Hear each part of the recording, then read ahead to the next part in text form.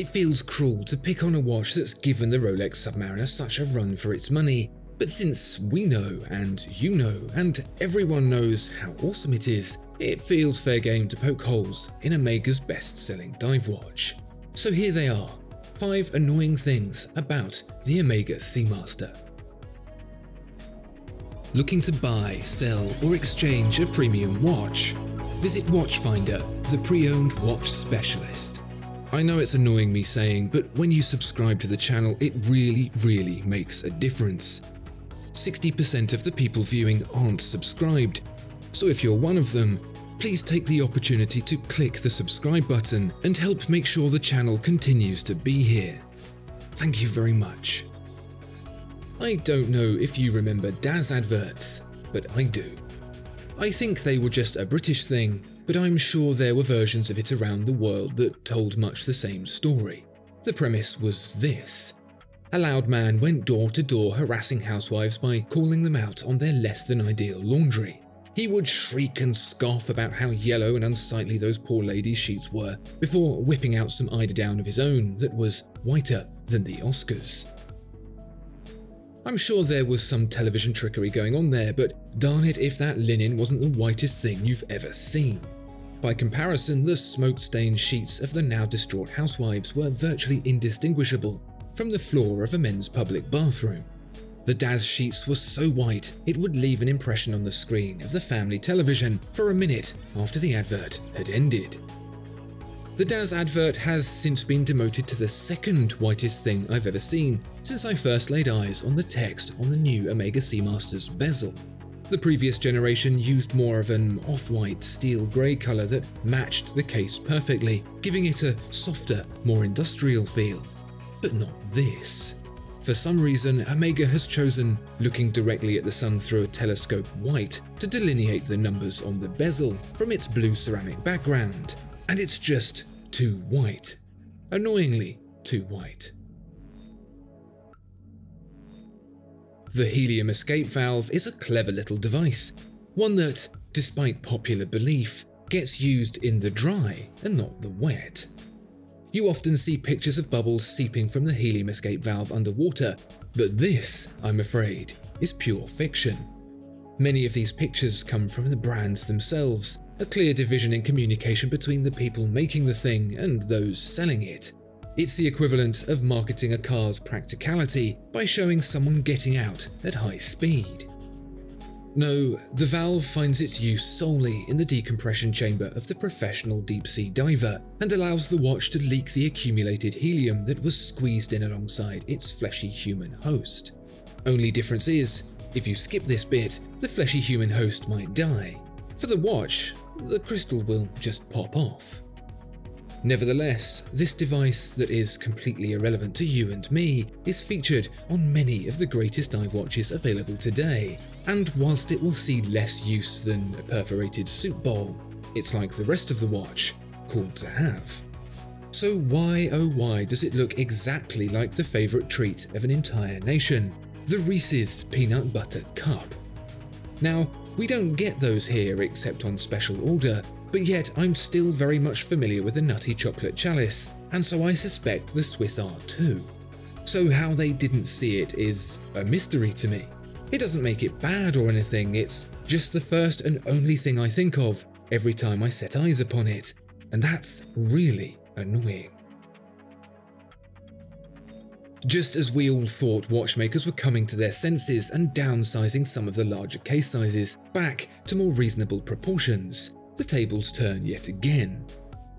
The Seamaster 300, like the Speedmaster, has always been a slightly larger than average watch, measuring in at a plump 41mm since it was reimagined as the Professional in 1993. It's not the only watch that's crept up in girth over the Christmas holidays. The Submariner of Rolex fame, a 40mm watch since 1959, recently slipped a notch on its belt to 41mm, the Explorer 2 two notches up to 42mm, and the Sea Dweller 3 to 43mm, and even 44mm for the deep sea version. Seemingly not to be outdone, Omega's latest Seamaster gets the same treatment, growing a millimeter to 42 millimeters across and just under a millimeter to 13.7 millimeters thick. It's a sizable watch. But what of it? It's never exactly been the dainty one of the bunch. If you want small and slender, there are plenty more fish in the sea. No, what's annoying is what all this does to the back. Because this watch now has an in-house movement rather than the ETA jobby retrofitted with Omega's coaxial escapement, you get to see it. And it's a decent movement, the caliber 8800, anti-magnetic, 55 hour power reserve, balance bridge, METAS certified. Except, thanks to the 42mm case, the steel sea that surrounds it makes it look annoyingly small.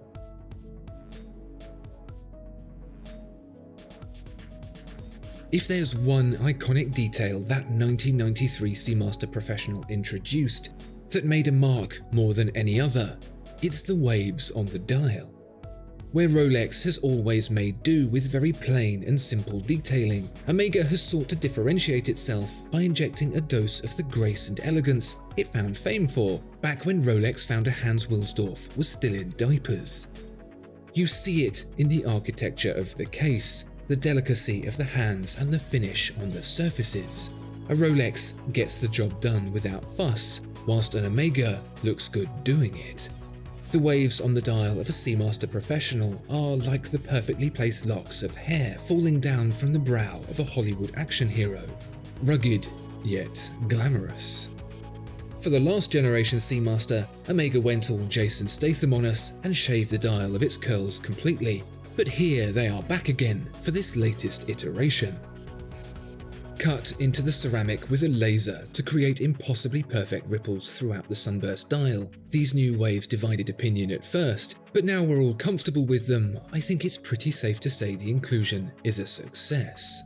Well, to a point, because when you look for a little longer than a glance, you'll notice the waves don't flow freely from shore to shore like they once did. They're broken up by little islands of text floating in the middle. Even the barely perceptible ZRO2 print that reveals the dial's ceramic construction gets a break in the waves.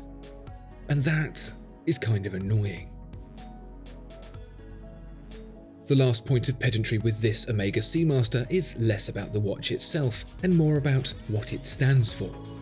After nearly dying a death in the wake of the quartz crisis, it was left to watch businessman extraordinaire Mr. Jean-Claude Biver to haul the sinking wreck of Omega's once illustrious history out from the murky depths and back up top where it belonged. The Seamaster Professional was the hollow point round that was going to do the damage, but that bullet needed a weapon. One Pierce Brosnan in the shape of public servant and serial womanizer James Bond. In 1995's GoldenEye, Brosnan's Bond wears a blue quartz Seamaster, and ever since, Bond has continued to maintain his punctuality using a number of other Omega watches. That's all well and good, you might say, but no, no it's not. And I know what you're thinking. Bond wore a Rolex in the books. That's true, but I've never read them, so it doesn't really bother me.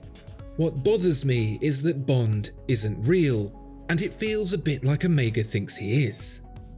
If James Bond were a real person and wore the Omega Seamaster, to me that'd make it pretty cool, like how the Speedmaster was used to save Apollo 13.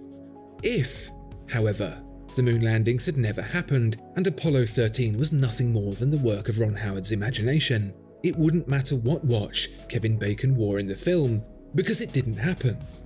Look, Will Smith wears a Hamilton Ventura in the extraterrestrial romp Men in Black, but you don't see Hamilton making a big deal out of that. By the way, the moon landings did happen. The Omega Seamaster is, right now, one of the best diving watches money can buy. It's stunning.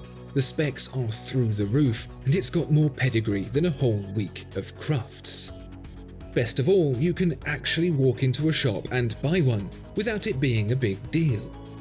All that makes it all the more fun to pick holes in, and given how small those holes really are, it shows just how much of a success story this most recent version really is. What annoying watch should we pick apart next? Let us know in the comments below. Discover more exceptional watches at Watchfinder. Thank you so much for watching this video. If you enjoyed it, please do consider giving it a like and subscribing to the channel. If there are any watches you'd like to see featured, please let us know in the comments below.